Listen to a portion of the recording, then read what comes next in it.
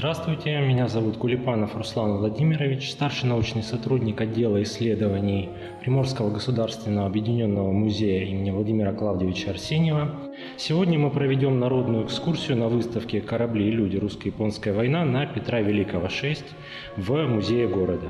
Э, русско-японская война – это рядовой эпизод целой эпохи глобального колониального передела мира, в котором участвовали все крупнейшие мировые державы. Россия создавала свои вооруженные силы, свой флот самостоятельно. Те корабли, которые строились на зарубежных верфях, они строились по заказу российского правительства, по чертежам русских инженеров, в то время как Япония получила свою армию в необычайно сжатые короткие сроки с привлечением передовых специалистов специалистов как из Германии, так и из Великобритании. То есть фактически в кратчайшие сроки Япония создала абсолютно новую армию, которая не тянула из прошлого каких-то отсталых идей. Военный флот был построен для Японии в кратчайшие сроки, практически под ключ на верхах Великобритании. Это позволило создать действительно ядро японского императорского флота, состоявшее из самых новейших однотипных кораблей, в то время как э, русские корабли именно вот вследствие э, долгого периода времени времени строились и были крайне неоднородными. Хотя э, катастрофического отставания по тактико-техническим характеристикам не было. Русский флот превосходил японский чисто по количеству кораблей, по э, боевым возможностям, но э, вот этот вот удар он действительно был нанесен растопыренными пальцами. Изначально вторая Тихоокеанская эскадра и третья Тихоокеанская эскадра, которые вышли из Балтийского моря, их задачей было в соединении с первой Тихоокеанской эскадрой в Порт-Артуре. Объединенными силами, можно сказать, установить господство на море, что а, могло дать в первую очередь изоляцию японской армии, высадившейся на материке. В целом, крайне неоднородная русская эскадра встретилась с ядром японского императорского флота в Сусимском проливе. Крайне отрицательную роль сыграло низкое качество русских снарядов по имеющимся сейчас японским документам, многие снаряды, которые попадали в японские корабли, действительно не взрывались или, может быть, взрывались с недостаточно фугасным эффектом. Известен случай, вот опять же, флагманский броненосец японский Микаса получил несколько попаданий, в том числе и в боевую рубку. При этом э, большая часть э, японского высшего командования флота практически не пострадали от этого попадания. Э, этот снаряд действительно мог изменить ход истории. В то время как японцы именно в Цусимском сражении ввели огонь очень мощными фугасными снарядами, начиненными так называемой шимозой. Этот снаряд при попадании в русские корабли давал большое количество осколков, э, которые наносили огромное повреждение, поражение команде русских кораблей, вызывали обширные пожары, которые в конечном итоге привели в первую очередь в том числе и к потере управляемости. Русский флот довольно тяжело принимал на вооружения какие-то новшества. Помимо очевидных плюсов у Шимоза было множество минусов. Это и преждевременные разрывы. По одной из версий, значительная часть снарядов, которые использовались русской эскадрой, были снаряжены именно переувлажненным пероксилином. Конечно же, сейчас об этом много спорят провести э, эскадру паровых кораблей в начале века через полсвета, э, это могло бы войти в историю и должно войти в историю, поскольку ничего подобного никакой другой флот э, в своей истории в этот период времени не совершал.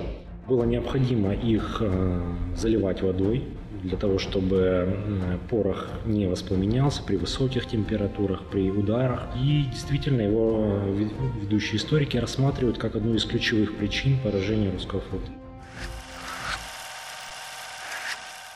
Японская эскадра подошла к Владивостоку и некоторое время обстреливала город. А, зимой 1904 года это вот такой вот единственный боевой, можно сказать, эпизод в истории города. Были незначительные разрушения на территории порта, на территории казарм гарнизона Владивостока. А, погиб один человек, гражданский, женщина беременная. Для Владивостока эта война имела огромное значение, в первую очередь потому, что э, потеря Порт-Артура сделала Владивосток главной твердыней, оставшейся твердыней России на э, Дальнем Востоке.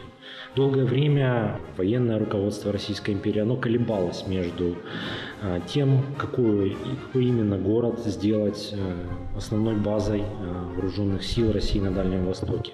Владивосток имел свои очевидные минусы. Это то, что порт замерзал, регулярно требовались ледоколы в зимнее время для вывода боевых кораблей в залив Петра Великого в Японское море. Основные силы были, русского флота были сосредоточены именно в Порт-Артуре. В Владивостоке базировался именно Владивостокский отряд крейсеров. И в то же время вот, потеря Порт-Артура по итогам э, русско-японской войны, вообще в целом э, гибель Тихоокеанского флота, она сделала э, Владивосток э, ключевым опорным пунктом Российской империи на Дальнем Востоке вновь. И опять же, после этого начинается и активное строительство Владивостокской крепости, потому что а, это была единственная возможность защищать Дальний Восток в условиях отсутствия флота.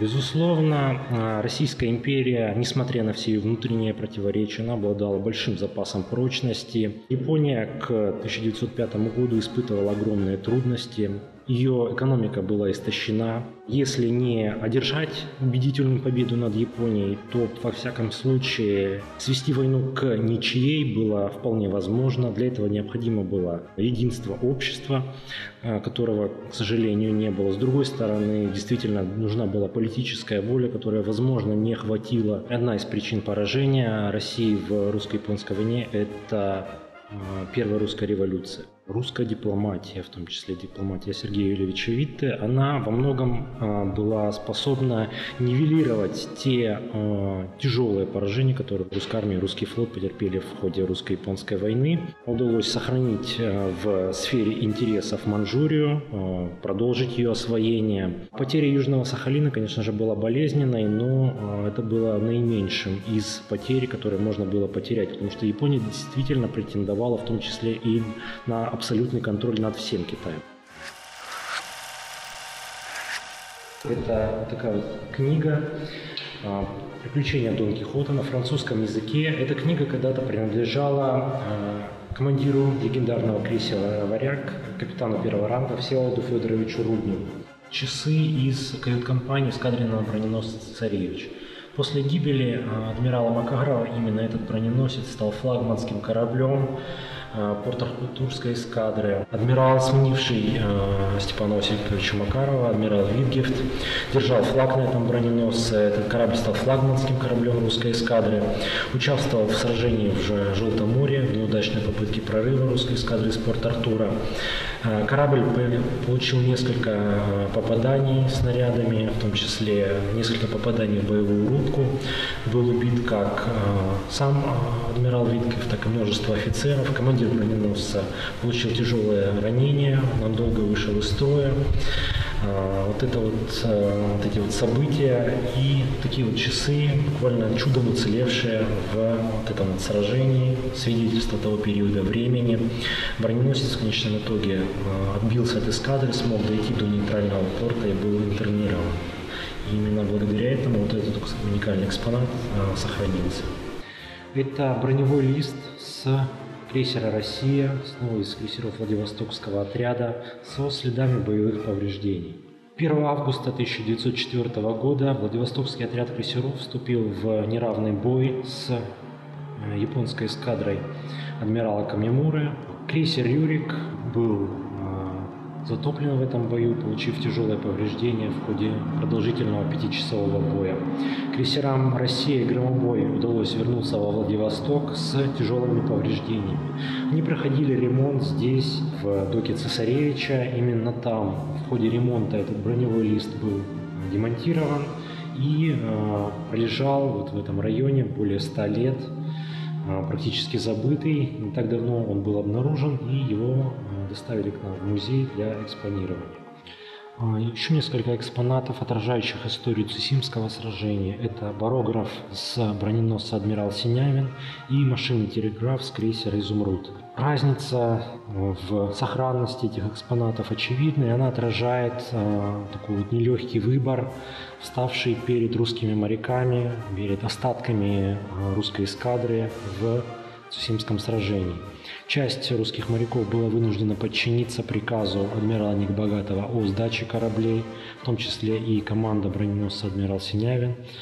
А, поэтому, собственно, вот этот вот прибор с корабля, который был сдан японцам, он так хорошо сохранился. В то время как некоторые другие русские офицеры, в первую очередь барон Ферзан, командир крейсера «Изумруд», отказался принять позорный приказ, хотя он вполне мог сослаться на то, что это приказ высшего командования. Тем не менее, он лично встал в боевой рубке крейсера «Изумруд» к вот этому вот машинному телеграфу, перевел его положение на ход полный вперед и смог прорваться сквозь строй японской эскадры. Фактически ему удалось довести свой корабль к берегам Приморья, но, к сожалению, из-за навигационной ошибки крейсер «Изумруд» наскочил на мели и впоследствии был взорван. До Владивостока дошел только вспомогательный крейсер «Алмаз» и два эскадренных миноносца из э, многочисленной русской эскадры, которая насчитывала э, более 30 кораблей.